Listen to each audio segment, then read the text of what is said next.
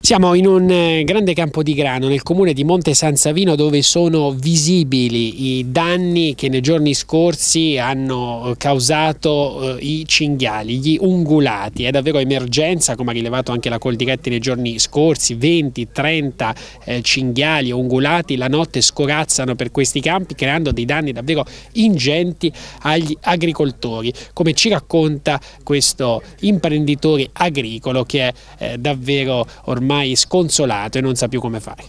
È successo che la notte qui ci pascolano continuamente, ma non è ora, sono vent'anni che succede queste cose e rimborsi danni quasi niente o niente.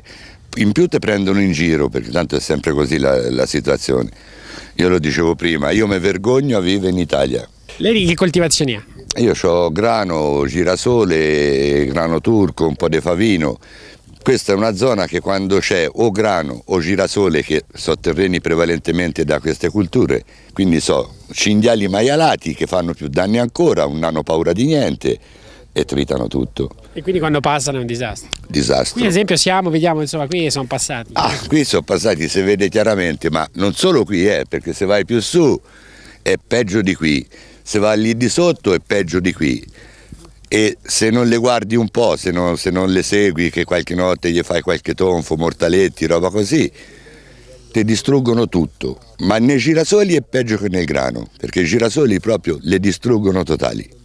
Ecco, lei li ha visti appunto anche qualche notte? Ah, l'avrò visti. Eh, quanti ne vede? Eh, ne ho contati anche 40, tutti insieme qui in questi campi. Io qui ho 10 ettari di terreno, un po' che il mio figliolo e un po' che io io qualche notte ci ho contato 40 animali, fra piccoli e grossi.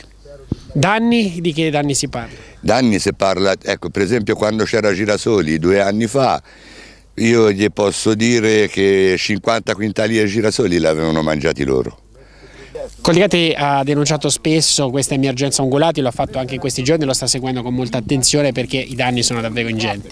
Sì, la situazione veramente è ormai insostenibile, cioè, veramente, è un'annata un po' particolare questa perché i danni meteo che con queste bombe d'acqua, queste piogge torrenziali che arrivano di continuo non fanno altro che danneggiare le produzioni. Se a questo ci mettiamo sul cereale un, un prezzo di mercato notevolmente più basso rispetto a quello che sarebbe il minimo indispensabile da poter considerare e a questo ci sommiamo sopra queste, questo scempio che fanno gli ungulati nelle nostre campagne, eh, veramente stiamo mettendo in serio rischio la sopravvivenza delle imprese agricole.